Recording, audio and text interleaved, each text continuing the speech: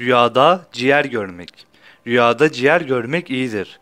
Bu rüya korkulardan kurtulup emniyette olmaya, sıhhate kavuşmaya ve düşmanlara galip gelmeye işaret ile tabir olunur.